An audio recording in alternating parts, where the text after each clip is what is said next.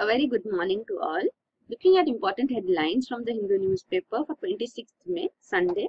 On the front page, you have Modi underlines need for inclusiveness at NDA meet. So, as head of parliamentary party, he meets president to form next government. So, he's talking of inclusiveness. The NDA uh, is a coalition of number of parties. So, Mr. Modi urged all NDA MPs to work in the spirit of inclusiveness and public service.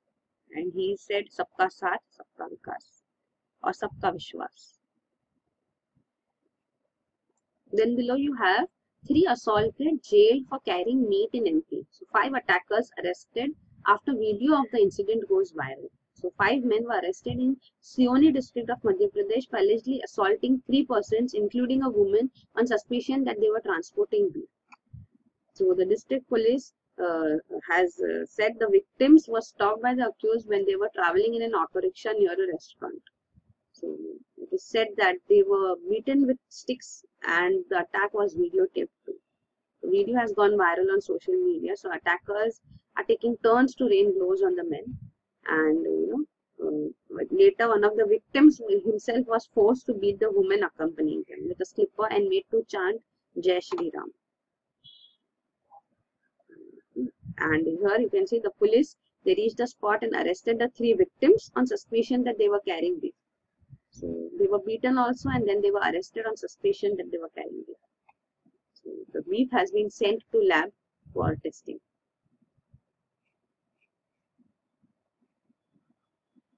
And here you have alert in Kerala after intelligence report on IS boat. So 72 police stations have been asked in Kerala to step up vigil because uh, coastal alert has been sounded because there's this intelligence report that 15 people with ties to Islamic State have left Sri Lanka in a white boat bound for Lakshadweep and Minicoy Islands. So they are off Kerala coast, 400 kilometer off Kochi, Lakshadweep. Then below you have advocate employee held in Dabholkar murder case. So CBI has found prima facie evidence of involvement of Hindu Vidhintriya Vidhiniya Parishad leader. So this is Advocate Sanjay Punlekar, National Secretary of Hindu Vidhiniya Parishad, an offshoot of Hindu Jan Jagruti Samiti and Vikram Bhave who worked at at Punalekar's office. They have been arrested by the CBI in connection with the 2013 murder of Narendra Dabholkar. So Mr. Narendra Dabholkar was uh, shot dead in 2013 in Pune by two bike-borne assailants. So CBI has taken over the case and it says that it has found prima facie evidence of the involvement of these two people. And you should know about Sanjeev Punalekar. He is a defense lawyer for some of the accused in Thane, Vashi and Malegaon blast cases. you should know that this murder, Narendra Dabholkar, he was a rationalist. You know, he was against superstitions which are ingrained in culture. So he was uh, scorned at, and finally, you can see, he was murdered. So he his murder is also linked to murder of Govind Pansare, M.M. Kalburgi, and Gauri Lankesh. So these all were rationalists and rights activists who have been murdered.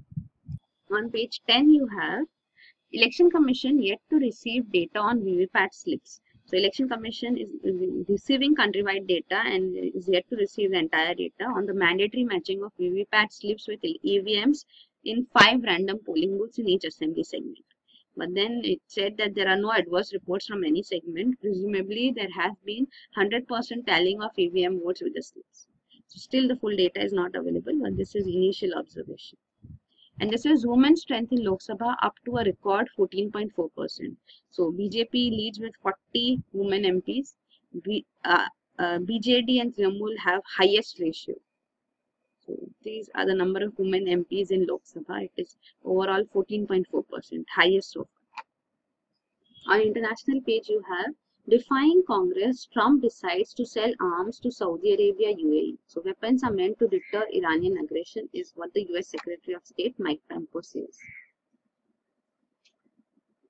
And below you have can't advise Jews on Kippah official. So Germany's government commissioner on anti-Semitism, anti-Jewish Semitism is with respect to Jews. So these this government uh, commissioner has actually warned Jews about the potential dangers of wearing the traditional kippah cap in the face of rising anti-Jewish attacks. But it said that it cannot advise Jews to wear the kippah everywhere, all the time in Germany. And on the last page here you have IISc researchers confirm superconductivity breakthrough. So achieving superconductivity at room temperature and pressure represents a major advance which Indian Institute of Science researchers have achieved.